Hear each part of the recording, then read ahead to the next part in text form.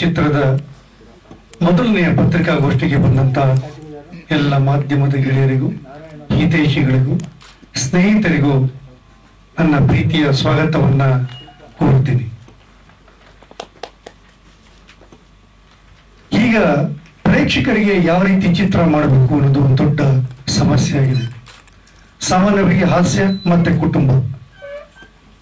ಎರಡು ಕಥೆಗಳನ್ನ ಇಟ್ಕೊಂಡು ಮಾಡಿದಾಗ ಅದು ಎವರ್ ಗ್ರೀನ್ ಪ್ರತಿಯೊಬ್ಬರ ಸಂಸಾರದಲ್ಲಿ ನಡೆಯುವಂತ ಕಥೆನೇ ನೋಡ್ಲಿಕ್ಕೆ ಇಷ್ಟಪಡ್ತಾರೆ. ಈ ಸಾಲಿನಲ್ಲೇ ಸೇರ್ಬಹುದಂತ ಚಿತ್ರ ಗುರು ಇದು ಅದ್ಭುತವಾದ ಕತೆ ಟಿ ಎಸ್ ನಾಗರಾಜ್ ಅವರು ಸಾವಿನ ನಂತರ ಅನ್ನುವ ಒಂದು ಕಥೆಯನ್ನ ಬಂದಿದ್ದಾರೆ ಅವರಿಗೆ ಸ್ವಾಗತವನ್ನ ಕೊಡ್ತಾ ಇದ್ದೀನಿ. ಕಥೆಗಾರರು ಬಂದಿದ್ದಾರೆ ಇವತ್ತು ಅದು ತರಂಗ ಪತ್ರಿಕೆಯಲ್ಲಿ ಪ್ರಕಟಣೆ ಆಯಿತು. ಲಕ್ಷಾಂತರ ಜನ ಓದಿದರು ಪ್ರಶಂಸೆ ಕೂಡ ವ್ಯಕ್ತಪಡಿಸಿದರು. ಇದನ್ನ ಯಾಕೆ ಸಿನಿಮಾ ಮಾಡಬಾರ್ದು ಅಂತೇಳಿ ನಮ್ಮ ನಿರ್ದೇಶಕರು ಯೋಚನೆಯನ್ನ ಮಾಡ್ತಾರೆ. ಒಂದು ತಂಡವನ್ನ ತಯಾರಿ ಮಾಡಿ, ಒಂದು ಅದ್ಭುತವಾದಂತ ಒಂದು ತಂಡವನ್ನ ತಯಾರು ಮಾಡಿ ಚಿತ್ರವನ್ನ ಮಾಡಲಿಕ್ಕೆ ಹೊರಡ್ತಾರೆ. ಈ ಚಿತ್ರ ಎಷ್ಟು ನೈಜತೆಗೆ ಒತ್ತು ಕೊಟ್ಟಿದೆ ಅಂದರೆ ನಮ್ಮ ಕನ್ನಡ ಚಿತ್ರರಂಗದಲ್ಲಿ ಸಾಕಷ್ಟು ಹಿಟ್ಟಿನ ಚಿತ್ರಗಳನ್ನು ಕೊಟ್ಟಂತ ಖ್ಯಾತ ನಿರ್ದೇಶಕ ಬಿ ರಾಮಮೂರ್ತಿ ಅವರು ಈ ಚಿತ್ರದಲ್ಲಿ ಪ್ರಮುಖ ಪಾತ್ರದಲ್ಲಿ ಕಾಣಿಸ್ಕೊಳ್ತಾ ಇರೋದು ನಿಜಕ್ಕೂ ಒಂದು ಮೆಚ್ಚುಗೆ ವಿಷಯ ಅಂತ ಹೇಳಲಿಕ್ಕೆ ಇಷ್ಟಪಡ್ತೇನೆ. ಸುಮಾರು ಒಂದು ಐವತ್ತ ಒಂಬತ್ತು ಚಿತ್ರಗಳ ನಿರ್ದೇಶನ ಮಾಡಿದಂತ ಖ್ಯಾತಿ ಅವರಿಗಿದೆ. ಅದರಲ್ಲಿ ಶೇಕಡ ಎಂಬತ್ತೈದು ಭಾಗದಷ್ಟು ಯಶಸ್ವಿ ಚಿತ್ರಗಳನ್ನೇ ನಿರ್ದೇಶನ ಮಾಡಿದವರು. ಅದನ್ನು ಉದ್ದ ತಾಂಡವ, ರಾಣಿ ಮಹಾರಾಣಿ, ಅಶೋಕ ಛತ್ರ, ಅದು ಟೋಲ್ಕಾಲ್ ರಾಮಕೃಷ್ಣ, ನನಗೂ ಹೆಂಡತಿ ಬೇಕು, ವಜ್ರಾಯುಧ ಮರಣ ಮೃದಂಗ ಮನೆ ಮೆಚ್ಚಿದ ಸೊಸೆ, ಲವ್ ಟ್ರೈನಿಂಗು, ಕ್ರೇಜಿ ಕುಟುಂಬ ಹಾಗೂ ಅಲ್ಲಿ ರಾಮಾಚಾರಿ, ಇಲ್ಲಿ ಭೀಮಾಚಾರಿ ಸಿ ಬಿ ಶಿವ ನೋಡಿ ಹೆಸರು ಹೇಳ್ತಾ ಹೋದರೆ ಎಲ್ಲವೂ ಟಿಕ್ ಮಾರ್ಕ್ ಹಾಕುವಂತ ಸಿನಿಮಾಗಳಲ್ಲಿ. ನಿರ್ಮಾಪಕರ ಪರ ಇರುವಂತಹ ನಿರ್ದೇಶಕರವರು ಅವರು ರಾಮಮೂರ್ತಿ ಅವರು ಕೈ ಇಡ್ತಾರೆ ಅಂದ್ರೆ ಚಿತ್ರ ಯಶಸ್ಸು, ಕಟ್ಟಿಟ್ಟ ಬುದ್ಧಿ. ಆ ರೀತಿ ಬಂದಂತ ರಾಮಮೂರ್ತಿ ಅವರು. ಈಗ ಈ ಚಿತ್ರದಲ್ಲಿ ಅಭಿನಯಿಸ್ತಾ ಇರೋದು ಇಡೀ ನಮ್ಮ ತಂಡಕ್ಕೆ ಒಂಥರ ದೊಡ್ಡ ಶಕ್ತಿ ಅಂತ ಹೇಳಲಿಕ್ಕೂ ನಾನು ಇಷ್ಟಪಡ್ತೀನಿ. ಯಾಕೆಂದ್ರೆ ಸಾಮಾನ್ಯವಾಗಿ ನಿಜ ಜೀವನದಲ್ಲಿ ಒಬ್ಬ ಕಲಾವಿದ ಯಾವ ರೀತಿ ತಿರ್ತಾನೆ, ಅದೇ ರೀತಿ ಪಾತ್ರ ಸಿಗೋದು ಬಹಳ ಅಪರೂಪ. ಅವ್ರ ಮನೇಲಿ ಸಿಡಿಗ್ತಾ ಇರ್ತಾನೆ, ಒಳ್ಳೆ ಸಾಫ್ಟ್ ಕ್ಯಾರೆಕ್ಟರ್ ಸಿಗುತ್ತೆ ಅವನಿಗೆ. ಮನೇಲಿ ಕಾಮಿಡಿ ಮಾಡ್ತಾ ಇರ್ತಾನೆ ಸ್ಕ್ರೀನ್ ಅಲ್ಲಿ ಸೀರಿಯಸ್ ಕ್ಯಾರೆಕ್ಟರ್ ಸಿಗುತ್ತೆ. ಇಲ್ಲಿ ರಾಮಮೂರ್ತಿ ಅವ್ರಿಗೆ ಆಗಿಲ್ಲ ಮನೇಲಿ ಹೇಗಿದ್ದಾರೆ, ಅದೇ ಪಾತ್ರನ ಎಲ್ಲಿ ಸಿಕ್ಕಿರೋದು. ಹಾಗಾಗಿ ನೈಜತೆ ತುಂಬಾ ಚೆನ್ನಾಗಿರುತ್ತೆ, ಪಾತ್ರವನ್ನು ಚೆನ್ನಾಗಿ ನಿಭಾಯಿಸ್ತಾರೆ ಅವರು. ಯಾಕೆಂದ್ರೆ ಅಂತಂತ ಕಲಾವಿದರನ್ನ ಕನ್ನಡ ಚಿತ್ರರಂಗಕ್ಕೆ ಕೊಟ್ಟಂತವ್ರು ರಾಮಮೂರ್ತಿ ಅವ್ರ ಬಗ್ಗೆ ಯಾಕೆ ಇಷ್ಟು ಮಾತಾಡ್ತಿದ್ದೀನಿ ಅಂತಂದ್ರೆ, ನಾನು ಅವರೊಟ್ಟಿಗೆ ಸಾಕಷ್ಟು ಸಿನಿಮಾಗಳನ್ನ ಕೆಲಸ ಮಾಡಿದ್ದೀವಿ ಹತ್ತಾರು ವರ್ಷಗಳಿಂದ ಅವ್ರ ಸ್ನೇಹ ಉಳಿಸ್ಕೊಂಡ್ ಬಂದಿದ್ದೀವಿ ಅತ್ಯುತ್ತಮವಾದಂತ ನಿರ್ದೇಶಕರು ಒಂದ್ ಜೊತೆಲಿ ಕಲಾವಿದರು ಕೂಡ ಒಬ್ಬ ನಿರ್ದೇಶಕ ಮೊದಲು ಕಲಾವಿದನಾಗ್ತಾನೆ, ಆಮೇಲೆ ನಿರ್ದೇಶಕನಾಗ್ತಾನೆ. ಆಗಲೇ ಅವನ ನಿಜವಾದ ಕಲೆ ಅವನಲ್ಲಿ ಇರುತ್ತೆ ಅಂತ ಹೇಳ್ತಾ, ಈ ಚಿತ್ರದ ಮೊದಲನೇ ಪತ್ರಿಕಾಗೋಷ್ಠಿಗೆ ಬಂದಂತ ನಿಮ್ಮೆಲ್ರಿಗೂ ಸ್ವಾಗತವನ್ನ ಕೋರ್ತಾ ಮತ್ತೊಮ್ಮೆ ಈಗ ಮಾತನಾಡೋ ಸಮಯ. ಈಗ ರಿಟೈರ್ ಆಗಿ ಪಿಕ್ಚರ್ಗಳು ಮಾಡೋಕೆ ಶುರು ಮಾಡಿದ್ದೀನಿ. I started my career with serial ಅವನು ಮತ್ತೆ ಶ್ರಾವಣಿ ಅನ್ನೋ ಸೀರಿಯಲ್ ಮಾಡಿದ್ದೆ. ಅದರಲ್ಲಿ ಶ್ರಾವಣಿ ಫಾದರ್ ಕ್ಯಾರೆಕ್ಟರ್ನ ಮಾಡಿದೆ ಮೂರು ವರ್ಷ. ಸೊ ಆ ಸೀರಿಯಲ್ ಎಲ್ಲ ಮಾಡಿದ್ಮೇಲೆ, ಆಮೇಲೆ ಅನ್ಕೊಂಡೆ, ಎಲ್ಲ ಬಂದು ನನಗೆ ಚಾನ್ಸ್ ಕೊಡ್ತಾರೆ ಅಂತ. ಬಟ್ ಕೊನೆಗೆ it is not so easy so ಅದಕ್ಕೋಸ್ಕರ ನಾವೇ ಪಿಕ್ಚರ್ ಮಾಡೋಕೆ ಶುರು ಮಾಡಿದ್ವಿ. So that we can act also in that if the if the director agrees so ಈ ಪಿಕ್ಚರು ನಾವು ತುಂಬಾ ಈ ಕಥೆ ಎಲ್ಲ ಕೇಳಿ ತುಂಬಾ I got impressed because it ಎಲ್ಲ common man lot of people are there who are middle class and then who want to do something ಇವತ್ತಿನ ಕಾಲದಲ್ಲಿ ಸೈಟ್ ಮಾಡಬೇಕು ಅಂತ ಎಷ್ಟು ಜನ ಎಷ್ಟೆಷ್ಟು ಕಷ್ಟಪಡ್ತಾರೆ.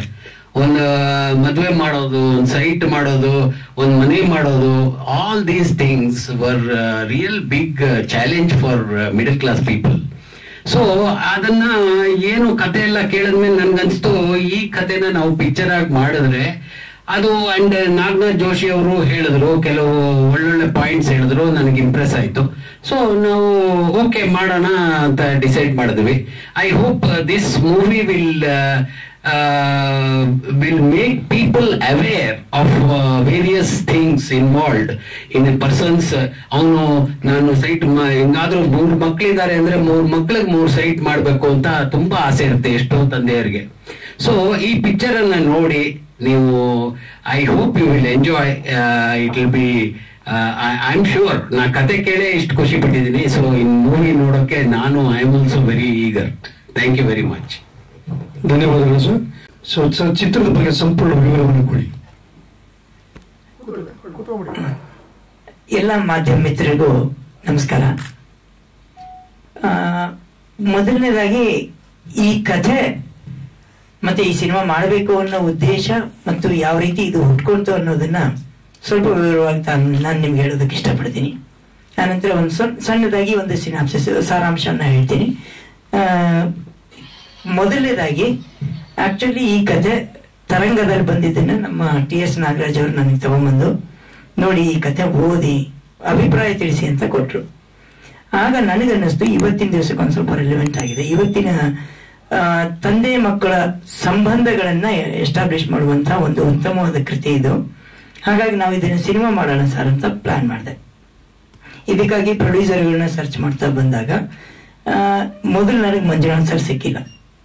ನಾಗರಾಜ್ ಚಾಂಡಿಲಿ ಅವ್ರು ಸಿಕ್ಕಿದ್ರು, ಒಂದಷ್ಟು ಮಾತಾಡಿದ್ವಿ. ಹಾಗೆ ಯಾವುದೋ ಒಂದಷ್ಟು ಸಣ್ಣ ಸಣ್ಣ ಕಾರಣಗಳಿಂದ ನಾವು ಬೇಡ ಅಂತ ಡಿಸೈಡ್ ಮಾಡ್ಕೊಂಡು ಒಂದಷ್ಟು ದಿವಸ ಗ್ಯಾಪ್ ಆಯ್ತು. ಅದಾದ್ಮೇಲೆ ನಾಗರಾಜ್ ಸರ್ ಹತ್ರ ಮಾತಾಡಿದಾಗ ಅವರಂದ್ರು ಟಿ ಎಸ್ ನಾಗರಾಜ್ ಅವರು, ಸರಿ, ಒಂದು ಕೆಲಸ ಮಾಡೋಣ ನಾವಿಬ್ಬರೇ ಸರಿ ಸಿನಿಮಾ ಮಾಡೋಣ ಅಂದ್ರು. ನಾನು ಯೋಚನೆ ಮಾಡಿದೆ, ಈಗ ನಾನು ಹಣವಂತ ಅಲ್ಲ, ಅವರು ಹಣವಂತರಲ್ಲ. ನಮ್ಮ ಕೈಲಾಗೋದೇನು ಬರವಣಿಗೆ, ಮತ್ತೊಂದು ನಮ್ಮಿಂದ ಆಗುವಂತ ದೈಹಿಕ ಮತ್ತು ಬೌದ್ಧಿಕವಾದಂತ ಶಕ್ತಿ ಯುಕ್ತಿಗಳನ್ನ ಹಾಕಿ ನಾವು ಬೇಕಾದ ಕೆಲಸಗಳನ್ನ ಮಾಡ್ಬೋದು. ಬಟ್ ದುಡ್ಡಿಗಾಗಿ ಏನ್ ಮಾಡಬೇಕು? ಈ ಪ್ರಶ್ನೆ ಬಂದಾಗ ಜನರಲ್ ಆಗಿ ಹೀಗೆ ದಿನಗಳನ್ನ ದೊಡ್ತಾ ದೊಡ್ತಾ ಬಂದು ಒನ್ ಲೈನ್ ಆದ್ರೂ ರೆಡಿ ಮಾಡ್ಕೊಳ್ಳೋಣ ಸ್ಕ್ರೀನ್ ಪ್ಲೇ ರೆಡಿ ಮಾಡ್ಕೊಳ್ಳೋಣ. ಇವೆಲ್ಲವೂ ರೆಡಿ ಮಾಡ್ಕೊಂಡ ಮೇಲೆ ನಾವು ಬೇರೆ ಸೇರಿ ಸಿನಿಮಾ ಹೇಗೋ ಕಷ್ಟಪಟ್ಟು ಮುಗಿಸೋಣ ಅನ್ನೋದ್ರಲ್ಲಿ ಇದ್ವಿ. ಆಗ ನನಗೆ ಸಿಕ್ಕವರು ಮಂಜುನಾಥ್ ಸರ್. ಸುಮ್ಮನೆ ಜನರಲ್ ಆಗಿ ಅವ್ರ ಮನೆಗೆ ಯಾವುದೋ ಕಾಫಿಗೆ ಅಂತ ಹೋದಾಗ, ಸರ್, ಈ ತರ ಕಥೆ ಇದೆ ಸರ್. ನೋಡಿ ಹೇಗಾಗತ್ತೆ? ಚೆನ್ನಾಗಿದೆಯಾ ಹೇಳಿ. ಸರ್, ಯಾವಾಗ ಮಾಡ್ತಿದ್ಯಾ ಶೂಟಿಂಗು ನನ್ನ ಪಾತ್ರ ಏನು? ಆಗ ನಾನು ಹೇಳಿದೆ, ಇಲ್ಲ ಸರ್, ಇದ್ರಲ್ಲಿ ನಿಮ್ ಪಾತ್ರ ಇಲ್ಲ. ನಾನು ಬೇರೆ ಒಬ್ಬ ವ್ಯಕ್ತಿನ ಅನ್ಕೊಂಡಿದೀನಿ. ಅವ್ರಿಗೆ ಈ ಪಾತ್ರ ಇದೆ ಮೇನ್ ಕ್ಯಾರೆಕ್ಟ್ರು ನಿಮಗೆ ಬೇಕಾದ್ರೆ ಯಾವ್ದಾದ್ರು ಒಂದು ಪಾತ್ರ ನೀವು ಮಾಡಬಹುದು ಮಾಡ್ತೀನಿ ಸರ್, ಸಿನಿಮಾ ಶೂಟಿಂಗ್ ಶುರುವಾದಾಗ ಮಾಡ್ತೀನಿ. ಅವ್ರು ಒಂದೇ ಮಾತಂದ್ರು. ಒಂದ್ ಕೆಲಸ ಮಾಡಿ ನನ್ನ ಬ್ಯಾನರ್ ಅಲ್ಲಿ ಮಾಡ್ಬಿಡಿ, ನಾನೇ ಪ್ರೊಡ್ಯೂಸರ್ ಆಗ್ತೀನಿ. ಸೊ ನನಗೆ ಅವತ್ತಿನ ದಿವಸ ನಿಜವಾಗ್ಲೂ ಬಹಳ ಖುಷಿ ಆಯ್ತು. ಮತ್ತು ಇದು ಎಷ್ಟು ಬೇಗ ಕೆಲಸಗಳು ಶುರು ಆಯ್ತು ಅಂತಂದ್ರೆ ಒಂದು ಮೂರ್ನಾಲ್ಕು ತಿಂಗಳಿಂದ ಗ್ಯಾಪ್ ಆದ ಕೆಲಸ ಒಂದೇ ವಾರದಲ್ಲಿ ಶುರುವಾಗಿ ಮುಂದೆ ಹನ್ನೆರಡನೇ ತಾರೀಕಿನ ದಿವಸ ನಾವು ಶೂಟಿಂಗ್ ಹೋಗ್ತಾ ಇದ್ದೀವಿ. ಇದಕ್ಕೆ ಮುಂಚೆ ನನಗೆ ತುಂಬಾ ಬೆನ್ನೆಲುಬಾಗಿ ನಿಂತ್ಕೊಂಡು ಇಡೀ ಕಥೆಯಲ್ಲಿ ಜೊತೆಗೆ ಇದ್ಕೊಂಡು ನನ್ನ ಜೊತೆಗೆ ಜಸ್ಟ್ ಸಪೋರ್ಟ್ ಆಗಿ ಬಂದವರು ರಾಮಮೂರ್ತಿ ಸರ್ ಆಮೇಲೆ ನಾನು ಹೇಳಿದೆ, ಕತೆ ಮಾಡ್ತಾ ಮಾಡ್ತಾ ನಾನಂದೆ ಸರ್ ನೀವೇ ಈ ಪಾತ್ರ ಮಾಡಿ ಅಂದೆ. ಅವರಂದ್ರೆ ನಾನು ಡೈರೆಕ್ಟರ್ ನಿಮ್ಮ ಡೈರೆಕ್ಟರ್ ಸರಿ, ಸರ್, ಇಲ್ಲ ಆಕ್ಟರ್ ಆಗಿ ಅಂದೆ. ನನಗೆ ಅವಾಗ ಅನ್ನಿಸ್ತು ನೀವು ಬಹುಶಃ ರಾಜಕೀಯ ರಂಗದಲ್ಲಿ ಅಟಲ್ ಬಿಹಾರಿ ವಾಜಪೇಯಿ ಅವರನ್ನ ಹೇಗೆ ಅಜಾತ ಶತ್ರು ಅಂತ ಕರೀತಾರೋ, ಚಿತ್ರರಂಗದ ಅಜಾತ ಶತ್ರು ರಾಮಮೂರ್ತಿ ಸರ್. ತುಂಬಾ ಕೆಟ್ಟ ಮನುಷ್ಯ, ಸಿನಿಮಾದಲ್ಲಿ ಕೆಟ್ಟ ಮನುಷ್ಯ ಅಂತ ಹೆಸರು ತಗೊಂಡವನ ಹತ್ರ ಹೋದ್ರು ರಾಮಮೂರ್ತಿ ಸರ್ ಅಂದ ತಕ್ಷಣ, ಏಯ್, ಅವ್ರು ತುಂಬಾ ಒಳ್ಳೆಯವರು ಕಣೆಯ ಒಳ್ಳೆ ಸೆಲೆಕ್ಷನ್ ಮಾಡಿದೀಯ ಅನ್ನೋರು. ಇದು ನನಗೆ ಬಹಳ ಖುಷಿ ತಂದುಕೊಟ್ಟ ವಿಚಾರ. ಆಮೇಲೆ ಕೊನೆಗೆ ಎಲ್ಲರೂ ಸೇರಿ ನಾವು ಇದನ್ನ ಪ್ಲಾನ್ ಮಾಡಿದ್ವಿ. ತಕ್ಕನಾಗಿ ಎಲ್ಲರೂ ನನಗೆ ಸಪೋರ್ಟ್ ಮಾಡಿದ್ರು. ಜೊತೆಗೆ ಕೌಶಿಕ್ ಸರು ನನಗೆ ಬಹಳ ಬೆನ್ನೆಲ್ ಬಂದು ನಿಂತ್ಕೊಂಡು ಮೊದಲಿನಿಂದನೂ ಸಪೋರ್ಟ್ ಮಾಡ್ತಾ ಇದ್ದವ್ರು. ಈ ಸಿನಿಮಾದಲ್ಲೂ ಬಹಳ ನನಗೆ ಸಪೋರ್ಟ್ ಮಾಡ್ತಾ ಬಂದಿದ್ದಾರೆ. ಇನ್ನು ಕಥೆ ವಿಚಾರಕ್ಕೆ ಬಂದ್ರೆ, ಈಗ ತಾನೇ ರಿಟೈರ್ ಆಗ್ತಾ ಇರುವಂತ ಒಬ್ಬ ಸರ್ಕಾರಿ ಅಧಿಕಾರಿ, ತನಗಿರುವ ಮೂರು ಮಕ್ಕಳಿಗೋಸ್ಕರ ಒಂದು, ಒಂದೊಂದು ಸೈಟ್ ಅನ್ನ ಮಾಡೋಣ ಅನ್ನುವಂತ ಉದ್ದೇಶ ಇಟ್ಕೊಂಡು ಅವನು ಕೂಡಿಟ್ಟಂತಹ ದುಡ್ಡು ಮತ್ತು ಪಿ ಎಫ್ ಇಂದ ಬರೋ ದುಡ್ಡನ್ನ ಇದಕ್ಕೆ ಇನ್ವೆಸ್ಟ್ ಮಾಡಬೇಕು ಅಂತ ಇರ್ತಾರೆ ಆ ಸಂದರ್ಭವಶಾತ್ ಅವರ ಹೆಂಡತಿಗೆ ಕ್ಯಾನ್ಸರ್ ಬಂದು ಮತ್ತು ಕಿಡ್ನಿ ಫೇಲ್ಯೂರ್ ಆಗಿ ಅದರಲ್ಲಿ ಇವ್ರ ದುಡ್ಡೆಲ್ಲ ಖರ್ಚಾಗ್ತಾ ಆಗ್ತಾ ಬರುತ್ತೆ. ಕೊನೆಗೆ ಅವರು ಹೇಗೆಲ್ಲ ಮನೆಯನ್ನು ನಿಭಾಯಿಸಿ ಅವರನ್ನ ಅವರ ಆಸೆಯನ್ನ ತೀರಿಸ್ತಾರೆ ಅನ್ನೋದು ಈ ಕಥೆಯ ಒಟ್ಟು ಸಾರಾಂಶ. ಅದರಲ್ಲಿ ನಾವು ಎಸ್ಟಾಬ್ಲಿಷ್ ಮಾಡಕ್ ಹೊರಟಿದ್ದು ಇವತ್ತಿನ ದಿನದ ತಂದೆ ಮಕ್ಕಳ ಸಂಬಂಧಗಳನ್ನ. ಈ ನಾವು ತಂದೆ, ಯಾವ ರೀತಿ ಮಕ್ಕಳಿಗೆ ನಾವು ತಂದೆಯಿಂದರಾಗಿರೋ ಆದರ್ಶವಾದ ತಂದೆ ತಾಯಿರಾಗಬೇಕು ಕೊನೆಗೆ ಅಲ್ಲಿ ಒಂದಷ್ಟು ಪಾತ್ರದಲ್ಲಿ ಅವ್ರು ಹೇಳ್ಕೊತಾ ಹೋಗ್ತಾರೆ. ಬಹುಶಃ ನಾನು ನಿಜವಾದ ತಂದೆ ಆಗ್ಲಿಲ್ಲ, ಸರಿಯಾದ ತಂದೆ ಆಗ್ಲಿಲ್ಲ, ಸರಿಯಾದ ಗಂಡನಾಗ್ಲಿಲ್ಲ ಈ ಅವರು ರಿಪೆಂಟ್ ಆಗುವಂತ ಸನ್ನಿವೇಶಗಳು ಮಗನ ಮೇಲೆ ಪ್ರಭಾವ ಬೀರಿ, ಮಗ ಅವರ ಅಪ್ಪನ ಪರವಾಗಿ ಇಲ್ಲ, ನಾನು ಯಾವತ್ತಿಗೂ ನಿಮ್ಮನ್ನ ಪೂಜಿಸ್ತೀನಿ, ಯಾವತ್ತಿಗೂ ನಾನು ನಿಮ್ಮನ್ನ ತುಂಬಾ ಚೆನ್ನಾಗಿ ನೋಡ್ಕೋತೀನಿ. ಹಾಗಾಗಿ ನೀವು ನಮ್ಮ ಜೊತೆಲಿ ಇರಿ ಅಂದಾಗ ಸಿಚುವೇಶನ್ ತಕ್ಕನಾಗಿ ಇವರು ಹೆಂಡತಿ ಆಸೆನ ಪೂರೈಸೋದಕ್ಕೋಸ್ಕರ ಕಾಶಿಗೆ ಹೋಗ್ಬೇಕಾಗತ್ತೆ. ಕಾಶಿನಲ್ಲಿ ಅವರು ಅವರ ಅಸ್ಥಿನ ಬಿಟ್ಟು ಬರೋಕೆ ಅಂತ ಹೋಗ್ತಾರೆ. ಈ ಎಲ್ಲ ಸಂದರ್ಭಗಳಲ್ಲಿ ಮಗನಿಗೆ ಯಾವ ರೀತಿ ಲಾಭವಾಗುತ್ತೆ? ಅವನೆಲ್ಲವನ್ನು ಅಂದ್ಕೊಂಡಿದ್ದನ್ನ ಹೇಗೆ ಪಡ್ಕೋತಾನೆ? ಪಡ್ಕೊಂಡು ಇದನ್ನ ಯಾವ ರೀತಿ ಕೊನೆಗಾಣಿಸ್ತೀವಿ ಅನ್ನೋದೇ ಒಂದು ಮಾರ್ಮಿಕವಾದ ಸನ್ನಿವೇಶ ಇರುತ್ತೆ. ಇದಿಷ್ಟು ಈ ಚಿತ್ರದ ಕಥೆ. ನನಗೆ ನಿಜವಾಗ್ಲೂ ಖುಷಿ ಆಗ್ತಾ ಇರೋದು ಚಿತ್ರರಂಗದ ಸಾಕಷ್ಟು ದಿಗ್ಗಜರನ್ನ, ದೊಡ್ಡ ದೊಡ್ಡ ಆರ್ಟಿಸ್ಟ್ಗಳನ್ನ ಡೈರೆಕ್ಟ್ ಮಾಡಿದಂತ ಒಬ್ಬ ಡೈರೆಕ್ಟರ್ಗೆ ನಾನು ಡೈರೆಕ್ಟ್ ಮಾಡ್ತಿದ್ದೀನಿ ಅನ್ನೋದೇ ನನಗೆ ಖುಷಿ ಆಗ್ತಾ ಇದೆ. ಈ ಚಿತ್ರ ಅಷ್ಟೇ ಸಕ್ಸಸ್ ಆಗಿ ತಮ್ಮೆಲ್ಲರ ಆಶೀರ್ವಾದ, ಹಾರೈಕೆಗಳು ನನ್ನ ಮೇಲೆ ಇದ್ರೆ ಈ ಸಿನಿಮಾನ ನಾವು ನಿಜವಾಗ್ಲೂ ಯಶಸ್ಸನ್ನ ಕಾಣ್ತೀವಿ ಅನ್ಕೋತೀನಿ. ನಂತರ ಪತ್ರಕರ್ತ ಮಿತ್ರ ಎಲ್ಲರಿಗೂ ನಿಮ್ಮ ಹಾರೈಕೆನೂ ನನ್ನಲ್ಲಿರ್ಬೇಕು. ಜೊತೆಗೆ ನಾನು ನಿಮ್ಮಲ್ಲಿ ಕ್ಷಮೆ ಕೇಳ್ತೀನಿ. ಕಾರಣ ಬಹಳ ವರ್ಷಗಳ ನಂತರ ನಾನು ಈ ಪ್ರೆಸ್ ಮೀಟ್ ಮಾಡ್ತಾ ಇದ್ದೀನಿ. ಆ ಮಧ್ಯದಲ್ಲಿ ನಾವು ಮಾಡಿದಂತ ಸಿನಿಮಾಗಳ ಬಜೆಟ್ ಆಗಿರ್ಬೋದು ಮತ್ತೊಂದಾಗಿರ್ಬೋದು ಸ್ವಲ್ಪ ತಕ್ಕ ತಕ್ಕ ಮಟ್ಟಿಗಿತ್ತು ಹಾಗಾಗಿ ನಾನು ನಿಮ್ಮೆಲ್ಲರನ್ನೂ ಸೇರೋಕ್ಕಾಗಿರ್ಲಿಲ್ಲ ಇದೊಂದು ಸುಸಂದರ್ಭ. ದಯವಿಟ್ಟು ತಾವೆಲ್ಲರೂ ನನ್ನ ಮೇಲೆ ಹರಿಸಿ ಆಶೀರ್ವಾದ ಮಾಡಬೇಕು ಅಂತ ಕೇಳ್ಕೊತೀನಿ. ನಮಸ್ಕಾರ. ನನ್ನ ಹೆಸರು ಟಿ ಎಸ್ ನಾಗರಾಜ್ ಅಂತ. ನನ್ನ ಹೆಸರು ನನ್ನ ಹೆಸರು ಟಿ ಎಸ್ ನಾಗರಾಜ್ ಅಂತ. ನಾನು ಸುಮಾರು ಒಂದು ನಲವತ್ತು, ನಲವತ್ತೈದು, ಐವತ್ತು ವರ್ಷದಿಂದ ನಾನು ಕತೆ ಬರೆಯಕ್ಕೆ ಶುರು ಮಾಡಿದ್ದೀನಿ. ಇಲ್ಲಿ ತನಕ ಒಂದು ಸುಮಾರು ನೂರೈವತ್ತು ಕತೆಗಳು ಬರೆದಿರ್ಬೋದು. ಒಂದು ಸಂತೋಷ ಏನಪ್ಪಾ ಅಂದ್ರೆ, ಬರೆದ ಕತೆಗಳು ಎಲ್ಲನೂ ಕನ್ನಡದ ಎಲ್ಲ ಪತ್ರಿಕೆಗಳಲ್ಲೂ ಪ್ರಕಟ ಆಗಿದೆ.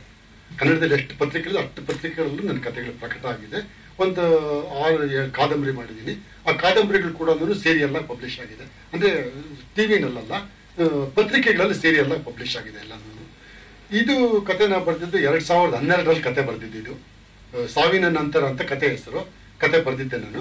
ಅಂದ್ರೆ ನಾನು ನನ್ನ ಉದ್ದೇಶಕ್ಕೆ ಸಾವಿನ ನಂತರ ಅನ್ನೋ ಇದು ಸರಿಯಾಗಿತ್ತು ಟೈಟ್ಲ್ ಇತ್ತು. ಆಮೇಲೆ ಅದು, ಅಂದ್ರೆ ನಾನು ಬರೀಬೇಕಾದ್ರೆ ಇದು ಸಿನಿಮಾ ಮಾಧ್ಯಮ ಅನ್ನೋ ಮನಸ್ಸಿನಲ್ಲಿ ಇರಲೇ ಇರಲಿಲ್ಲ ನನಗೆ. ನನಗೆ ಬರೀ ಪತ್ರಿಕಾ ಮಾಧ್ಯಮ ಮಾತ್ರ ನನ್ನ ಮನಸ್ಸಿನಲ್ಲಿ ಇದ್ದಿತ್ತು ನಾನು ಬರೀ ಪತ್ರಿಕೆಗಳ ಕತೆ ಬರೀತಾ ಇದ್ದೆ. ಪತ್ರಿಕೆಗಳ ಕತೆ ಇದ್ರೆ ಓದುವರು ಯಾವ ರೀತಿ ಅದನ್ನ ತಗೊಳ್ತಾರೆ? ಓದೋರ ಅಭಿಪ್ರಾಯ ಯಾವ ರೀತಿ ಇರುತ್ತೆ? ಅನ್ನೋ ಒಂದು ಮೂಡಲ್ಲೇ ನಾನು ಕತೆ ಬರೀತಾ ಇದ್ದೆ. ಸಿನಿಮಾ ಬಗ್ಗೆ ನನಗೇನು ಗೊತ್ತೂ ಇರಲಿಲ್ಲ. ಅಥವಾ ನಾನು ಸಿನಿಮಾಗೆ ಬರೀಬೇಕು ಅಂತ ಬರೀತಾನೆ ಇರಲಿಲ್ಲ. ಈಗ ಈ ತರ ಒಂದು, ಯಾವುದೋ ಒಂದು ಫ್ಲಾಶ್ ಆಯ್ತು ಕತೆ. ಈ ಪ- ಬರೀಬೇಕಾದ್ರೆ ಹಾಗೆ ಆಗೋದು. ಯಾವುದೋ ಒಂದು ಕತೆ ಎಲ್ಲೋ ಹೋಗಿರ್ತೀವಿ, ಏನೋ ನೋಡಿರ್ತೀವಿ. ಇದ್ದಕ್ಕಿದ್ದಾಗ ಯಾವುದೋ ಸಣ್ಣ ಎಳೆ ಸಿಗುತ್ತೆ. ನಮ್ಮ ನಮ್ ಕತೆ ಬರೆಯೋದಕ್ಕೆ ಅಂತ ಬಿಟ್ಟು ಆ ಎಳೆ ಮನಸ್ಸಿನಲ್ಲಿ ಕೊರಿತಾ ಇರುತ್ತದು. ಅದು ತಿಂಗಳಾರ್ಗಟ್ಲೆ ಕೊರಿತಾ ಇರುತ್ತೆ. ಹೋದ್ ಕಡೆ, ಬಂದ್ ಕಡೆ ಈ ಕಥೆನ ಯಾವ ರೀತಿ ಡೆವಲಪ್ ಮಾಡ್ಬೋದು, ಯಾವ ರೀತಿ ಅದನ್ನ ಕ್ಯಾರೆಕ್ಟರ್ಸ್ ಕ್ರಿಯೇಟ್ ಮಾಡ್ಬೋದು, ಇದೇ ಕೊರಿತಾ ಇರುತ್ತೆ. ಕಡೆ ಒಂದು ಒಂದು ತಿಂಗಳು, ಎರಡು ತಿಂಗಳು ಈ ತರ ಕೊರಿತಾ ಇದ್ದಾದ್ಮೇಲೆ ಅದಕ್ಕೂ ಸ್ಪಷ್ಟ ರೂಪ ಸಿಗುತ್ತೆ. ಆ ಒಂದು ರೂಪ ಸಿಕ್ಕಿಬಿಟ್ರೆ ಕತೆ ಬರೆಯೋದು ಅರ್ಧ ಗಂಟೆ ಅಷ್ಟೇ. ಅದು ಸ್ಪಷ್ಟನೇ ಬರಬೇಕು ಕಂಪ್ಲೀಟ್ ಸ್ಪಷ್ಟನೆ ಇರಬೇಕು. ಆ ಸ್ಪಷ್ಟನೆ ಬಂದ್ಬಿಟ್ರೆ ಅರ್ಧ ಗಂಟೆಲಿ ಕುತ್ಕೊಂಡು ಕತೆ ಬರೆದ್ಬಿಡ್ಬೋದು. ಈ ತರ ರೂಪುಗೊಂಡಿತ್ತು ಈ ಸಾವಿನ ನಂತರ ಅನ್ನೋ ಕತೆ ನಾನು. ಆಮೇಲೆ ಅದು ಹೀಗೆ ನಮ್ಮ ಜೋಶಿ ಅವ್ರಿಗೆ ಅದ್ರ ಬಗ್ಗೆ ಹೇಳಿದ್ದೆ ನಾನು. ಅವರು ಅದನ್ನ, ನಾ ಸಿನಿಮಾ ಮಾಡ್ತೀನಿ ಅಂತ ಹೇಳಿದಾಗ ನನಗೆ ಆಶ್ಚರ್ಯ ಆಯಿತು. ಅರೆ, ಇದು ಸಿನಿಮಾ ಏನಿದೆ ಇದು ಸಬ್ಜೆಕ್ಟ್ ಸಿನಿಮಾ ಮಾಡೋದಕ್ಕೆ? ಅಂತ ಹೇಳ್ಬಿಟ್ಟು. ಆಮೇಲೆ ಅವರು, ನಿಮ್ಗೆ ಯಾಕೆ ನಾನು ಡೈರೆಕ್ಟರ್ ನಾನು ನಾನು ಮಾಡ್ತೀನಿ ಅಂತ ಹೇಳಿ ಅದಕ್ಕೆ ಒಂದು ಚಿತ್ರಕಥೆ ಮಾಡಿದ್ರು. ಚಿತ್ರಕಥೆ ಮಾಡಿ ಚಿತ್ರಕಥೆ ಓದಿದಾಗ ನನಗೇನೆ ಆಶ್ಚರ್ಯ ಆಗೋಯ್ತು. ಅರೆ, ಆ ಕತೆ ಇಷ್ಟೊಂದು ಚೆನ್ನಾಗಿ ಡೆವಲಪ್ ಮಾಡ್ಬೋದು ಅದನ್ನ ಅಂತ ಹೇಳ್ಬಿಟ್ಟು. ಅಂದ್ರೆ ಅದು ಅದ್ಭುತವಾಗಿ ಮಾಡಿದ್ದಾರೆ ಅವರು. ತುಂಬಾ ಚೆನ್ನಾಗಿ ಡೆವಲಪ್ ಮಾಡಿದ್ದಾರೆ. ಅಷ್ಟೇ ಒಳ್ಳೆ ಅಂತ್ಯನೂ ಕೊಟ್ಟಿದ್ದಾರೆ ಅವರು. ನಾನು ಮನಸ್ಸಿನಲ್ಲಿ ಏನು ಕಲ್ಪಿಸ್ಕೊಂಡಿದ್ದೆ, ಅದಕ್ಕಿಂತ ತುಂಬಾ ಚೆನ್ನಾಗಿ ಮಾಡಿದ್ದಾರೆ ಅವರು. ಅಷ್ಟು ಚೆನ್ನಾಗಿ ಕತೆ ಡೆವಲಪ್ ಮಾಡಿದ್ದಾರೆ ನಾನು ಆಮೇಲೆ, ಅದು ಅದು ಕೇಳಿದ್ಮೇಲೆ, ಓ ಪರವಾಗಿ ನನ್ನ ಕತೆಗಳಲ್ಲೂ ಸಿನಿಮಾ ಮಾಡೋ ಅಂಶಗಳಿವೆ ಅಂತ ನನಗೆ ಆವಾಗಲೇ ಗೊತ್ತಾಗಿದ್ದೆ ನನಗೆ. ಅಲ್ಲಿ ತನಕ ನನಗೆ ಗೊತ್ತಿರಲಿಲ್ಲ, ಸಿನಿಮಾ ಮಾಡ್ಬೋದು ಕತೆ ಅಂತ ಹೇಳ್ಬಿಟ್ಟು ಅದನ್ನು ಅವರು ಜೋಶಿ ಅವರು ಮಾಡಿ ತೋರಿಸಿದ್ದಾರೆ. ಆಯ್ತು, ಅದರ ಕತೆ ಬಗ್ಗೆ ಎಲ್ಲ ಅವರು ಹೇಳಿದ್ದಾರೆ, ಎಲ್ಲರೂ ಹೇಳಿದ್ದಾರೆ, ನಾನೇನು ಹೇಳುವಾಗಿಲ್ಲ ಅದು ಕತೆ ಸಿನಿಮಾ ಆಗುತ್ತೆ, ನೀವೆಲ್ಲ ನೋ, ಅದಕ್ಕೆ ಅಭಿಪ್ರಾಯ ಕೊಡ್ಬೇಕು ಅಂತ ಕೇಳ್ಕೊಂಡು ಟೆಕ್ನಿಕಲ್ ಟೀಮ್ ಎಲ್ಲ ಹೇಳ್ಬಿಟ್ಟಿದೆ. ಬಟ್ ಈ ವೇದಿಕೆಗೂ ನಂಗೂ ಇರೋ ಭಾವನಾತ್ಮಕ ಸಂಬಂಧದ ಬಗ್ಗೆ ನಾನು ಹೇಳಬೇಕು. ಎಂಬತ್ತೈದರ ದಶಕದಲ್ಲಿ ನಾನು ಫಸ್ಟ್ ಸಿನಿಮಾ ಮಾಡಿದಾಗ, ಈಗ ನಮ್ಮ ನಾಗೇಂದ್ರ ಅವ್ರ ಜೊತೆ ಕೆಲಸ ಮಾಡ್ತಾರೋ Ramakrishna was my first P R O ನೆನಪಾಗತ್ತೆ ಅವಾಗ ನಮ್ಮನ್ನೆಲ್ಲ ಇದೇ ತರ ಪತ್ರಕರ್ತಗಳನ್ನೆಲ್ಲ ಕರ್ಕೊಂಡು ಸಾಂಗ್ ರೆಕಾರ್ಡಿಂಗು ಇದಕ್ಕೆಲ್ಲ ಕರ್ಕೊಂಡು it was very big moral support for beginners ಬಿಡಿ ನಾವು ಒಂದು ಐದಾರು ಸಿನಿಮಾ ಮಾಡಿದ್ಮೇಲೆ ರೆಕ್ಕೆಗಳೆಲ್ಲ ಗಟ್ಟಿ ಆಗುತ್ತೆ ಮಿರಿತಿರ್ತೀವಿ ನಮ್ಮ ಹಿಂದೆ ದೊಡ್ಡ ದೊಡ್ಡ ಹೀರೋಗಳು ಇರ್ತಾರೆ ನಮ್ಮನ್ನ ಹಿಡಿಯೋರೇ ಇರಲ್ಲ. ಆದ್ರೆ ಫಸ್ಟ್ ಸಿನಿಮಾ ಮಾಡುವಾಗ ನಮ್ಮ ಜೊತೆ ಕೈ ಹಿಡಿಯಕ್ ಬರ್ತಾರಲ್ಲ, ಅವ್ರಿಗೆಲ್ಲ ಹ್ಯಾಟ್ಸ್ ಆಫ್ ತುಂಬಾ ಖುಷಿ ಆಗುತ್ತೆ. ಅದನ್ನೆಲ್ಲ ನಮ್ಗೇನು ಗೊತ್ತಿರಲ್ಲ. ಕರೆಯೋದು ಜನಗಳನ್ನ ಕೂರಿಸೋದು, ಪತ್ರಕರ್ತರನ್ನ ಪರಿಚಯ ಮಾಡಿಸೋದು, ಇಡೀ ಮಾಧ್ಯಮಕ್ಕೆ ನಮ್ಮನ್ನು ಲಿಂಕ್ ಕೊಟ್ಟಂತ ಸುಮಾರು ಜನ ಇಲ್ಲಿ ಇದ್ದಾರೆ. ಅವ್ರಿಗೆಲ್ಲ ನಾನು ವೈಯಕ್ತಿಕವಾಗಿ ಐ ಆಮ್ ವೆರಿ ಗ್ರೇಟ್ಫುಲ್ ಪತ್ರಕರ್ತರುಗಳಂತೂ ನಾವು ಬೆಳೀತಾ ಬಂದಾಗಿಂದ ನಮಗೆ ಸಪೋರ್ಟ್ ಮಾಡಿದ ವರ್ಗ ಇದೆ ಇಲ್ಲಿ. ನಾಗೇಂದ್ರ ಅವರು also supported me like anything Ramamurthy ಅವ್ರ ಬಗ್ಗೆ ನಾನು ಹೇಳಲೇಬೇಕು ತೊಂಬತ್ತರ ದಶಕದಲ್ಲಿ ನಾನು ಪಾರ್ಟಿಗೆ ಅಂತ ತುಂಬಾ ಪ್ರಯತ್ನ ಪಡ್ತಿದ್ದ ದಿನಗಳಲ್ಲಿ ರಾಮಕೃಷ್ಣ ಹೆಗ್ಡೆ ಅವರ ಮಗನ ಪಾತ್ರ ಕೊಟ್ಟು ತುಂಬಾ ಇಂಪಾರ್ಟೆಂಟ್ ರೋಲ್ ಕೊಟ್ಟು ನನಗೆ ಮರಣ ಮೃದಂಗದಲ್ಲಿ ಒಂದು ಒಳ್ಳೆ ಎಕ್ಸ್ಪೋಜರ್ ಕೊಟ್ಟಿದ್ರು. ಅದನ್ನ ನಾನು ಮರೆಯಕ್ಕೆ ಆಗಲ್ಲ. ಆ ಸಿನಿಮಾದಿಂದ ನನಗೆ ಇನ್ನೆಷ್ಟೋ ಸಿನಿಮಾ ಸಿಕ್ತು. ಬಟ್ ಎಷ್ಟು ಆಶ್ಚರ್ಯ ಅಂದ್ರೆ ಆ ಸಿನಿಮಾದಿಂದ ರಾಮಕೃಷ್ಣ ಹೆಗ್ಡೆ ಅವರ ಪರ್ಸನಲ್ ಸಂಪರ್ಕ ಸಿಕ್ಬಿಡ್ತು ನನಗೆ. ಆ ಚಿತ್ರದಲ್ಲಿ ನಾಲ್ಕೈದು ದಿವಸ ಕೆಲಸ ಮಾಡಿದ್ವಿ. I started liking me Kaushik come to my house ನೀನ್ ಯಾತಕ್ಕೆ ಯೂತ್ ವಿಂಗ್ ಅಧ್ಯಕ್ಷ ಆಗ್ಬಾರ್ದು? ಅವ್ರು ಇಟ್ಟಿದ್ದ ಸೀನೇ ಅದು. ಜ್ಞಾಪಕ ಇದ್ದಾರೆ ಮೂರ್ತಿಗಳ? ಯೂತ್ ವಿಂಗ್ ಅಧ್ಯಕ್ಷ literally offered me that post ಬಂದ್ಬಿಡಿ, ನೀವು ಬೆಂಗಳೂರು ಸದಾಶಿವನಗರ ಬ್ರಾಂಚ್ಗೆ ನಾನು ನಿಮ್ಮನ್ನ ಮಾಡ್ತೀನಿ, ಇಷ್ಟ ಆಯ್ತು ಅಂತ. ಬಟ್ ನಮ್ಗೆ ಇತ್ಲ ಕಡೆ ಹುಚ್ಚಿತ್ತಲ್ಲ ತೆವಲಿ ಎಲ್ಲಿ ಬಿಟ್ಟು ಹೋಗ್ತೀನೋ. ನಾವು ಲಾನೇ ಬೇಡ ಅಂತ ಎರಡು ವರ್ಷ ಕೆಲಸ ಮಾಡಿ, ವಾಪಸ್ ತಿನ್ನು, ಸಿನಿಮಾಗೆ ಬಂದು ನಾನು. ಹಾಗೆ ಬೇರೆ ಯಾವುದೋ ಅಟ್ರಾಕ್ಷನ್ ನಮ್ಮನ್ನ ಎಳ್ಕೊಂಡು ಹೋಗ್ಲಿಲ್ಲ. ಹಾಗೆ ಒಬ್ಬೊಬ್ಬರಿಂದ ಒಂದೊಂದು ಇಲ್ಲಿ ನಂಗೆ ಸಂಬಂಧಗಳಿದೆ. ಆಮೇಲೆ ಮಂಜುನಾಥ್ ಅಂತಕ್ಕೂ ಅವರು ಇನ್ನೂ ಯಾವುದೋ ಸಿನಿಮಾ ಮಾಡಿರ್ಲಿಲ್ಲ. ಅವ್ರಿಗೆ ನೊಬೆಲ್ ಅಂತ ಒಂದು ಕಂಪನಿ ಶುರು ಮಾಡಿಸಿ ರಿಜಿಸ್ಟರ್ ಮಾಡಿಸಿದ್ದೆ ನಾನು. ಆಮೇಲೆ ನಮ್ದೊಂದು ಸಿನಿಮಾದಲ್ಲಿ ಅವ್ರು ಪಾರ್ಟ್ನರ್ ಆಗಿದ್ರು. ಹಾಗಾಗಿ ಇಲ್ಲಿರೋ ಜೋಶಿ ಅಂತಕೊಂಡು ಹೇಳಲೇಬೇಕಾಗಿಲ್ಲ ಅಥವಾ ತುಂಬಾ ಒಳ್ಳೆ ಸ್ನೇಹಿತ more than a film man is a good friend of mine ನಾವು ಸೀರಿಯಲ್ಗಳಲ್ಲಿ ಕಷ್ಟಪಡ್ತಿದ್ದ ದಿನಗಳಲ್ಲಿ ಎಷ್ಟು ಏಳ್ನೂರ ಐವತ್ತು ರೂಪಾಯಿ, ಏಳ್ನೂರು ರೂಪಾಯಿ ಕೆಲಸ ಮಾಡುವಾಗ ನನಗೆ ಕಾಲಿಡಿಯವನು ಏನ್ ಸರ್ ಇದು? ನಿಮ್ಗೆಲ್ಲ ಎರಡೂವರೆ ಸಾವಿರ ಕೊಡ್ತಾರೆ. ನಮಗೆ ಬರೀ ಏಳ್ನೂರು ರೂಪಾಯಿ ಕೊಡ್ತಾರೆ ಅಂತ ಬೇಜಾರು ಮಾಡ್ಕೊಳ್ಳೋನು ಯಶು. ಆಗ ಇವರು ದೊಡ್ಡ ಅಸೋಸಿಯೇಟ್ ಎಷ್ಟು ಕೆಲಸ ಮಾಡೋ ಸಿನಿಮಾಗಳಿಗೆ ಸೀರಿಯಲ್ಗಳಿಗೆಲ್ಲ ಸೊ ಹಾಗೆ ಯೂಸ್ ಟು ಸೇ ಕಾಯ ಒಳ್ಳೆ ದಿನ ಬರುತ್ತೆ. ಏನೀಗ? ನಮ್ಗೆ ಎರಡೂವರೆ ಯಾಕೆ ಕೊಡ್ತಾರೆ ನಮ್ ಸೀನಿಯರು ನಮ್ಗೆ ಕೊಡ್ತಾರೆ. ನಿಮ್ಗೆ ಒಳ್ಳೆ ದಿನ ಬರುತ್ತೆ ಅಂದ್ರೆ ಈ ತರ ಐದೈದು ಕೋಟಿ, ಆರಾರು ಕೋಟಿ ಕೊಡೋಷ್ಟು ಒಳ್ಳೆ ದಿನ ಕನ್ನಡ ಚಿತ್ರದಲ್ಲಿ ಬರುತ್ತೆ ಅಂತ ಅನ್ಕೊಂಡಿರ್ಲಿಲ್ಲ. ಸೊ ಜೀವನ ಅನ್ನೋದು ಎಷ್ಟು ಸುಂದರವಾಗಿರುತ್ತೆ ಎಲ್ಲರೂ ಕೈ ಹಿಡಿದು ಬಿಟ್ರೆ ಅನ್ನೋದಕ್ಕೆ ಈ ತರದ ಘಟನೆಗಳ ಸಾಕ್ಷಿ. ಸೊ ಇನ್ನಿಬ್ರು ನಮ್ಮಲ್ಲಿ ಕನ್ನಡ ಚಿತ್ರರಂಗದಲ್ಲಿ ಮಿಂಚಿನ ಛಾಯಾಗ್ರಾಹಕರು ಇದ್ದಾರೆ. ಮನು ಮತ್ತೆ ಮೋಕ್ಷ. ಸೊ ಅವರುಗಳ ಬಗ್ಗೆ ನಾನು ವೈಯಕ್ತಿಕವಾಗಿ ಹೇಳಲೇಬೇಕು. ಎಷ್ಟು ಆತ್ಮೀಯತೆ ತಂದ್ಬಿಡ್ತಾರೆ ಅಂದ್ರೆ ಯಾವುದೇ ಪತ್ರಿಕಾಗೋಷ್ಠಿಗಳಿಗೆ ಹೋಗ್ಲಿ ಮನೆ ಬ್ರದರ್ಗಳಿಂದ ಜಾಸ್ತಿ ಆತ್ಮೀಯವಾಗಿ ಕಲಾವಿದರುಗಳನ್ನು ಒಗ್ಗೂಡಿಸ್ತಾರೆ ಫೋಟೋಗಳು ತೆಗಿತಾರೆ. ಇದೆಲ್ಲ ಒಂಥರ ಕುಟುಂಬದ ತರ ಇದೀವಿ ನಾವು. I am so happy so ಇಲ್ಲಿ ಬಂದಿರತಕ್ಕಂಥ ಎಲ್ಲ ಹಿತೈಷಿಗಳಿಗೆ ಮತ್ತು ಚಿತ್ರತಂಡಕ್ಕೆ ಮೇನ್ ಆಗಿ ನನ್ನ ಶುಭ ಕಾಮನೆಗಳನ್ನು ಹೇಳ್ತಾ ನಂದೆರಡು ಮಾತು ಮುಗಿಸ್ತೀನಿ. ನಮಸ್ಕಾರ. ನೀರಂತೆ ನಾವು? ಒಳ್ಳೆ ಪಾತ್ರನೇ ಕೊಟ್ಟಿದ್ದಾರೆ. ಕೊಟ್ಟಿದ್ದಾರೆ. ಬೀಗ ಈಗ ಆಗ್ತಾ ಇದ್ರು ಪಾತ್ರ.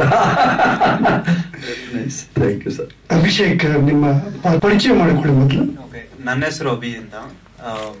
ನಾನು ಥಿಯೇಟರ್ ಅಲ್ಲಿ ವರ್ಕ್ ಮಾಡ್ತಿದ್ದೆ ಇದ್ರ ಮುಂಚೆ.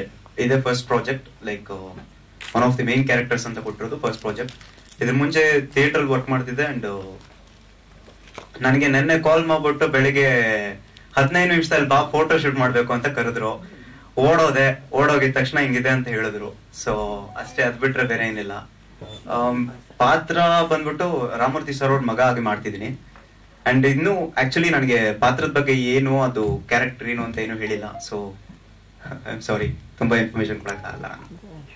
ನಮಸ್ಕಾರ. ಆ, ಪಾತ್ರದ ಬಗ್ಗೆ ನಾನು ಹೇಳೋ ಹಾಗಿಲ್ಲ ಚಿತ್ರದ ಬಗ್ಗೆನೂ ಹೇಳೋ ಹಾಗಿಲ್ಲ. ಯಾಕಂದ್ರೆ ಎಲ್ಲ ದಿಗ್ಗಜರು ಹೇಳಿದ್ದಾರೆ ನಿಮ್ಗೆ. ನನಗೆ ನಿನ್ನೆ ಮೊನ್ನೆ ಮೊನ್ನೆ ಬಂದ ವಿಷಯ. ರಾಮಮೂರ್ತಿ ಸರ್ ಒಂದು ಸಿನಿಮಾ ಮಾಡ್ತಾ ಇದ್ದಾರೆ. ಜೊತೆನಲ್ಲಿ ನಾಗನಾಥ್ ಜೋಶಿ ಸರ್ ಇದ್ದಾರೆ ಅಂತ ಅಂದ್ಬಿಟ್ಟು.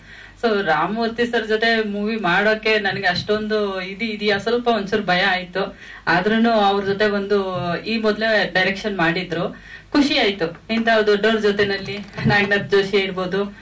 ನನ್ಗೆ ಇವರೆಲ್ಲ ಯಾರು ಬರ್ತಾರೆ ಗೊತ್ತಿರ್ಲಿಲ್ಲ. ಪ್ರೊಡ್ಯೂಸರ್ ಸರ್ ಗೊತ್ತಿದ್ರು. ನಿನ್ನೆ ಫೋಟೋ ಶೂಟ್ ಆದಾಗ. ಸೊ ಇಂಥವ್ರ ಮಧ್ಯೆ ನಾನು ಒಂದು ಒಳ್ಳೆ ಕೆಲಸ ಮಾಡ್ಬೋದಲ್ಲ. ಏನೋ ಹೇಳ್ತಾರಲ್ಲ, ಹೂವಿಂದ ನಾರು ಸ್ವರ್ಗಕ್ಕೆ ಸೇರ್ತು ಅಂತ. ಹಾಗೆ ಇಂಥವ್ರ ಜೊತೆ ಕೆಲಸ ಮಾಡೋದಕ್ಕೆ ಅವಕಾಶ ಕೊಟ್ಟ ಭಗವಂತನಿಗೆ ಒಂದು ದೊಡ್ಡ ನಮಸ್ಕಾರ ಹಾಗೂ ನಿಮ್ಗೂ ಎಲ್ಲರಿಗೂ ನಮಸ್ಕಾರಗಳು. ಎಲ್ಲಾ ಪತ್ರಿಕೋದ್ಯಮದ ಬಂಧುಗಳಿಗೆ ನನ್ನ ಹೃತ್ಪೂರ್ವಕ ನಮಸ್ಕಾರಗಳು. ಎಲ್ಲ ಆವತ್ತಿನಿಂದ ಇವತ್ತು ಪತ್ರಿಕೋದ್ಯಮದಲ್ಲಿ ಎಲ್ಲರೂ ನನ್ನ ಪರವಾಗಿ ಮಾತಾಡಿ ಬರೆದಿದ್ದೀರಿ, ನನ್ನ ಸಿನಿಮಾಗಳನ್ನ ಬೆಳೆಸಿದ್ದೀರಿ, ನನ್ನ ಹಾರೈಸಿದಿರಿ ಆಶೀರ್ವಾದ ಮಾಡಿದ್ದೀರಿ. ಆದ್ರೆ ವೃತ್ತಿಯಲ್ಲಿ ಬರೀ ನಿರ್ದೇಶಕನಾಗಿದ್ದನು ನಾನು ಯಾವ ಪ್ರವೃತ್ತಿಯನ್ನು ಇಟ್ಕೊಂಡಿರ್ಲಿಲ್ಲ. ಬರವಣಿಗೆ ನನ್ನ ಸಿನಿಮಾಗಳಿಗೆ ನಾನು ಬರೆಯೋದು, ಬೇರೆಯವ್ರು ಕೇಳಿದಾಗ ಸ್ಕ್ರಿಪ್ಟ್ ಮಾಡ್ಕೊಳ್ಳೋದು, ಇದೆಲ್ಲ ಇಟ್ಕೊಂಡಿದ್ದೆ ಅಷ್ಟೇ ಹೊರತು ನಟ ಅಂತ ಯಾವತ್ತೂ ನಾನು ಗುರುತಿಸ್ಕೊಂಡಿರ್ಲಿಲ್ಲ. ತೆರೆ ಮೇಲೆ ಬರಬೇಕು ಅನ್ನೋ ಆಸೆನೂ ಯಾವತ್ತೂ ಇರಲಿಲ್ಲ. ದೇವತಾ ಮನುಷ್ಯದಲ್ಲಿ ಒಬ್ಬ ವ್ಯಕ್ತಿಗೆ ಪಾತ್ರ ಕೊಟ್ಟಾಗ ಅವತ್ತು ಅಣ್ಣವ್ರ ಜೊತೆಲಿ ರಾತ್ರಿ ಮಳೆ ಬರೋಂಥ ಒಂದು ಸೀನಲ್ಲಿ ಆತ ಮಾಡಕ್ಕೆ ಆಗ್ಲಿಲ್ಲ. ಆಗ ಅಣ್ಣ ಇದ್ಕೊಂಡು ಒಂಚೂರು ನೀವೇ ಮಾಡಿಬಿಟ್ರೆ ಒಳ್ಳೇದು, ರಾತ್ರಿ ಎರಡೂವರೆ ಅಂತಂದ್ರು. ಸೊ ಆ ಪಾತ್ರನ ಅವತ್ತು ಮಾಡಿದೆ. ಹಾಗೆ ಬೆಟ್ಟದೂನಲ್ಲಿ ತಮಟೆ ಅವನು ಕುಡಿದು ಮಲಗಿಬಿಟ್ಟಿದ್ದ. ಪಕ್ಕದಲ್ಲಿ ತಮಟೆ ಬಾರಿಸ್ಕೊಂಡು ಬಾಲಣ್ಣವ್ರ ಜೊತೆ ಕೂತ್ಕೊಳ್ಳೋಂಥ ಒಂದು ಸಂದರ್ಭ ಬಂತು ಬೆಟ್ಟದೂನಲ್ಲಿ ಮಾಡಿದ್ದೆ. ಶಕ್ತಿಯುಕ್ತಿನಲ್ಲಿ ಪ್ರೊಡ್ಯೂಸರ್ಸ್ ಬೇಕಂತ ಹೇಳಿ ಒಂದು ಎಸ್ ಐ ರೋಲ್ ನೀವೇ ಮಾಡಿ ಸರ್, ನಾವು ಯಾರನ್ನೂ ಕರ್ಸಿಲ್ಲ ಅಂದ್ರು. ಹೀಗೆ ಆಗಾಗ ಕಾಣಿಸ್ಕೊಂಡಿದ್ದಂತ ಹೊರತು ನಟ ಅಂತ ನಾನು ಯಾವತ್ತೂ ಅದನ್ನ ಮನಸ್ಸಲ್ಲೂ ಇಟ್ಕೊಂಡಿರ್ಲಿಲ್ಲ. ಆ, ಅಂತ ನಾವು ಇರ್ಲಿಲ್ಲ. ಆದ್ರೆ ಸಾಂದರ್ಭಿಕ ಈಗ ಹೇಗೆ ಅಂತಂದ್ರೆ ವೃತ್ತಿ ಪ್ರವೃತ್ತಿ ಅನ್ನೋದಕ್ಕೆ ಯಾಕೆ ಹೇಳಿದೆ ಅಂತಂದ್ರೆ ಬರೀ ನಿರ್ದೇಶಕನಾಗಿ ವೃತ್ತಿ ಅನ್ಕೊಂಡಿದ್ದನು ಜೋಶಿ ಅವರು ಪ್ರವೃತ್ತಿಗೆ ಒಂದು ನಾಂದಿ ಹಾಡಿದ್ದಾರೆ ಈಗ. ಅಂದ್ರೆ ಈಗ ಸರ್ಕಾರಿ ನೌಕರನ ಪಾತ್ರ ಆದ್ರೆ ಅಲ್ಲಿ ಪೆನ್ಷನ್ ಏನೋ ಇರುತ್ತೆ ನೌಕರರಿಗೆ. ಅಲ್ಲಿ ಇಲ್ಲಿ ಸಿನಿಮಾದಲ್ಲಿ ಯಾವ ಪೆನ್ಷನ್ ಇಲ್ಲ ನಮ್ಗೆ. ಹಾಗಾಗಿ ಇನ್ಮೇಲೆ ನೀವು ನಿವೃತ್ತಿ ಆಗಿದ್ದೀರಿ ಸರ್. ಹಿರಿಯ ನಿರ್ದೇಶಕ ಅಂತ ಪಟ್ಟ ಕೊಟ್ಟಿದ್ದಾರೆ. ಪೆನ್ಷನ್ ತಗೊಳ್ಳಿ ಇನ್ಮೇಲೆ. ಈ- ಕ್ಯಾರೆಕ್ಟರ್ ಮಾಡಿದ್ಮೇಲೆ ಅದೊಂಥರ ನಿಮ್ ಮಂತ್ಲಿ ಪೆನ್ಷನ್ ತರ ಬರ್ತಾ ಅನ್ನೋತರ ಅನ್ನೋ ತರ ಅವರ ಅಭಿಪ್ರಾಯ ಮಾಡಿ ಈ ಪಾತ್ರವನ್ನ ಕೊಟ್ಟಿದ್ದಾರೆ. ನಿಜಕ್ಕೂ ಹೇಳ್ಬೇಕಾದ್ರೆ ಅವ್ರ ಕಥೆಯನ್ನ ಹೇಳಿದಾಗ, ಆ ಪಾತ್ರವನ್ನು ಹೇಳಿದಾಗ ಟಿ ಎಸ್ ನಾಗರಾಜ್ ಅವರು ಹೇಳಿದಾಗೆ ಒಂದು ಹಂತದಲ್ಲಿ ತನ್ನ ಆಸೆಗಳನ್ನ ಅಥವಾ ಮಕ್ಕಳನ್ನ ನೆರವೇರ್ಸಕ್ಕಾಗ್ಲಿಲ್ಲ, ಆಸೆಗಳನ್ನ ಅಂತ ಅಂದ್ಕೊಂಡಾಗ ಆತ್ಮಹತ್ಯೆ ಅನ್ನೋದೊಂದು ಪದ ಅವ್ರು ಉಪಯೋಗಿಸೋದಿಲ್ಲ ಆ ಅಂಚನ್ನ ತಟ್ಟಿ ಒಂದ್ಸರಿ ಬಂದವನು ನಾನು ಜೀವನದಲ್ಲಿ. ಎಲ್ಲ ಸೋತು ಮನೆಗೆ ಇರೋದನ್ನೆಲ್ಲ ಕಳ್ಕೊಂಡು ಬೀದಿಗೆ ಬಂದಾಗ ಆ ದಿನಗಳು ನಾನು ನೆನಪಿದೆ. ಪಾತ್ರ ನನ್ನ ಆಯ್ಕೆ ಮಾಡಿರೋದು ಪಾತ್ರ ತಾನಾಗೆ ಮಾಡುವಂತ ಒಂದು ಪಾತ್ರ ಅಂತ ನಾನು ಒಪ್ಕೊಂಡೆ ಇದನ್ನ. ಹಾಗಾಗಿ ಪಾತ್ರಕ್ಕೆ ನ್ಯಾಯ ಒದಗಿಸ್ಬೇಕಾದ ನನ್ನ ಧರ್ಮ, ಅದನ್ನು ಒದಗಿಸ್ತೀನಿ ಅಂತ ಹೇಳಿ ನಂಬ್ಕೊಂಡಿದ್ದೀನಿ. ಈ ಕೂಡು ಎಲ್ಲರಿಗೂ ಒಂದು ಗೂಡು ಕಟ್ಟುವಂತ ಒಂದು ಅವಕಾಶವನ್ನು ಕೊಡಲಿ ಅಂತ ಹೇಳಿ ನಾನು ಎರಡು ಮಾತುಗಳನ್ನು ಮುಗಿಸ್ತೀನಿ. ವಂದನೆಗಳು.